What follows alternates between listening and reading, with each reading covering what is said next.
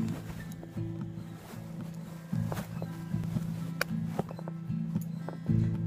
looking down at them, they were looking down at you. You were starched and pressed, they were all disheveled. They were holding hands, they were muffins, and they said, I know we're not fancy, but we're on the same level. We've got plans, big plans, we're gonna change the world. All you care about is dollars.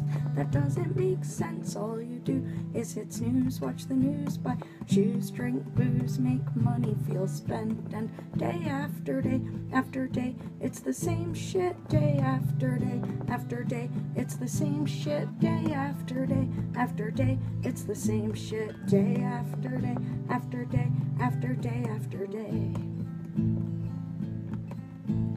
Then you look at them without batting an eye Hey, little hippie, let your freak flag fly. Why don't you go smoke a bowl in your best tie dye? Get a tattoo of a dancing bear holding a peace sign. You can talk the talk, but when it comes to real change, are you and all your little friends exactly the same? You sit around at potlucks pointing fingers, placing blame, drinking kombucha, and eating tempeh. And day after day after day, it's the same shit day after day after day. It's the same shit day after day after day. It's the same shit day after day after day after day after day.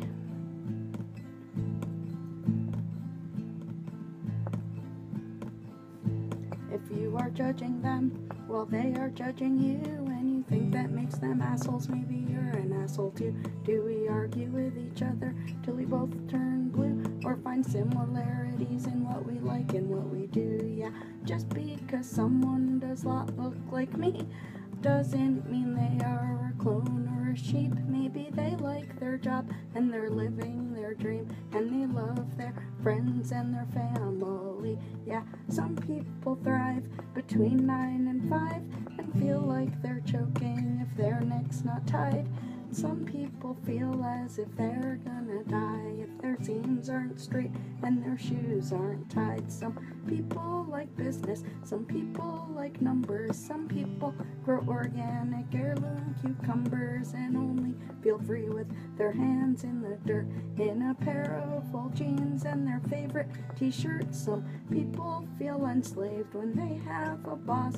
Some people without one feel totally lost to make this world work. It takes all different kinds. We all have different tastes, different strengths, different minds. So it doesn't make sense to generalize, and it doesn't make sense to judge with our eyes. We need more compassion. We need to be kind. If you open your heart, you might like what you find. Cause there are some nice bus drivers, there are some mean bus drivers, and there are some nice cops, but they're totally complicit in the bullshit that all the evil racist cops are doing. And there, there are some nice teachers, and there are some mean teachers. Just because you have a mean teacher doesn't mean all teachers suck, and no one is nice all the time. No one is mean all the time. Think about what someone's going through. It's making them be mean to you, like maybe their pet gerbil died. They are really sad inside, or maybe they got in a fight with someone that they really like. I'm like drowning in spit. Maybe they are really shy, don't know how to socialize, and they just want to run and hide. Not saying that it's justified, but if we learn to empathize, resentments will vaporize and situations metamorphosize before our very eyes. Then the need to stereotype will become outdated when we realize that everyone is really complicated. We are also complicated. We are also complicated. I am also complicated. I am also complicated. So, I've been struggling a bit lately with the whole uh, empathy and kindness thing because I've been feeling really mad. And like, I, there's some people and some actions that I will never understand. Then I try to under, then I try to think about how if I didn't uh, love people so much, then I wouldn't get so fucking mad. And I, I do still believe in kindness and empathy. But, man, there's some fucking bullshit in this world.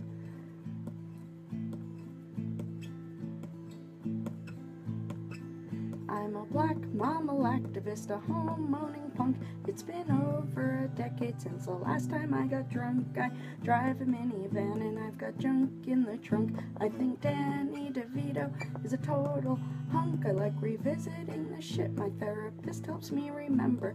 Being friends with someone for a long time, still not knowing their gender. I fight for equal rights and I fight for inner peace. I pray to the dead for the gratitude I need. I've got chickens in my backyard and a little garden plot. I really hate commercials, but I gotta slap chop cause I'm a sucker for a remix. Let me tell you what, by the time that I am finished, you are gonna love these nuts. I'm a little bit pop culture, a lot bit DIY. I don't know the definition of TMI. I write poems about my period, post pictures of my log. If you don't like body functions, you shouldn't read my blog. My baby's daddy's a musician from the mountains in France. He wrote me a song, we did interpretive dance, then he knocked me up. Now we have the coolest kid, yeah. Making her with him's the smartest thing I ever did. And I feel like I can fly when I'm on skates. I get a little high when I eat dry dates. I feel like I'm unloading when I'm loading up the car. I feel like I'm exploding when I'm holding my guitar. I don't understand what numbers have to do with success or what sales have to do with happiness unless they're the kind of sales that will carry me to see where my grandma and grandpa are waiting for me.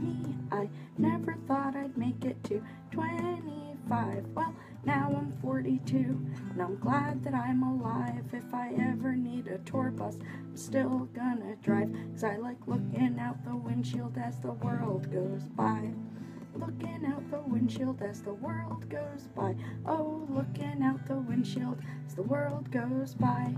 Now I'm 42 and I'm glad that I'm alive. And I like looking out the windshield as the world goes by.